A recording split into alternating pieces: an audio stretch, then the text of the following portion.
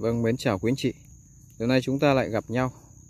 Ở trong cái ờ, vừa rồi thì có dịch ờ, Covid thì Trung cũng không đi ờ, làm không đi quay video về những cái lô đất cho quý vị xem được. Cũng chúc cho quý vị các anh chị có một sức khỏe dồi dào để chúng ta cùng nhau vượt qua cái bệnh dịch và tiếp tục tiến bước trên con đường lĩnh vực bất động sản của mình và những cái lĩnh vực khác, quý vị nhé. Hiện nay ở đây tôi có một cái lô đất này à, giới thiệu đến à, quý anh chị nào muốn à, mua để làm nhà vườn hoặc là để trồng cây trái như đây. Nói chung lô đất này nó đang có tiêu sẵn rồi. Diện tích của nó là một một đúng một mẫu luôn nhé. Đây sổ sách pháp lý rõ ràng.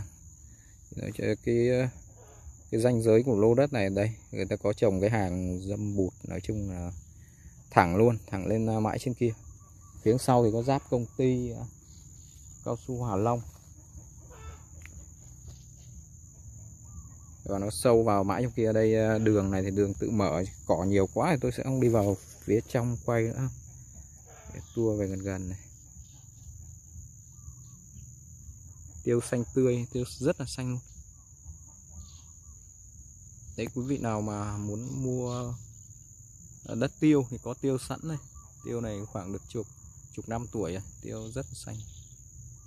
Thì con đường này đường tự mở mà xe ô tô có thể vô được quý vị nhá.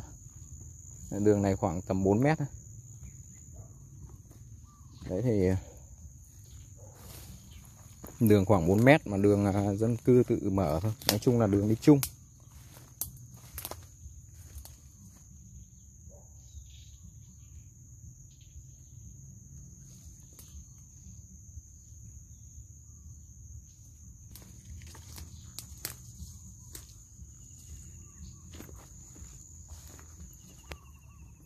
Đây chúng ta sẽ đi ra ngoài phía trước Đường này ô tô đi vô được khoảng 4 mét nhé.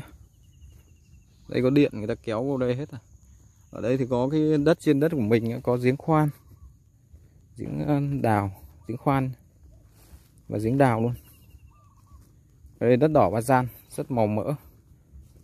Quý vị nào mà muốn mua trồng sầu riêng hay các kiểu mà đất đỏ này là rất ok. Điện nước đấy đây ờ, đầy đủ hết.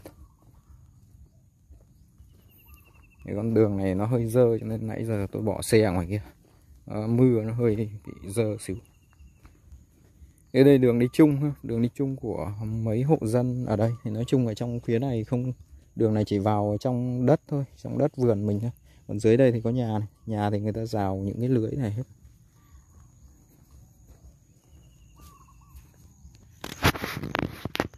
Đấy thông báo cho quý vị biết ờ, cái lô đất đấy thì ờ, mức giá anh chủ nhà anh đang đưa là 400 một xào thì một mẫu 4 tỷ quý nhá đây mình cách ra cái con đường đá ở ngay trước mặt đường đá 7-8 mét ấy. thì khoảng cỡ ờ, trăm mét nữa thôi con đường đá ngay đây luôn. Và xuống con đường nhựa mà xuyên về 328 và 329 ấy, thì dưới đây khoảng cỡ 300 mét đường nhựa lớn luôn. Và về 329 của Hòa Hiệp thì khoảng cỡ một cây số quý vị nhé. Tôi sẽ ra quay con đường về. xem. Đây, tôi đang đi ra con đường à, phía trước mặt đường đá lớn này. Điện à, cao điện trung thế luôn ha. Đây có nhà cửa xung quanh đây nhà cửa như rất là nhiều.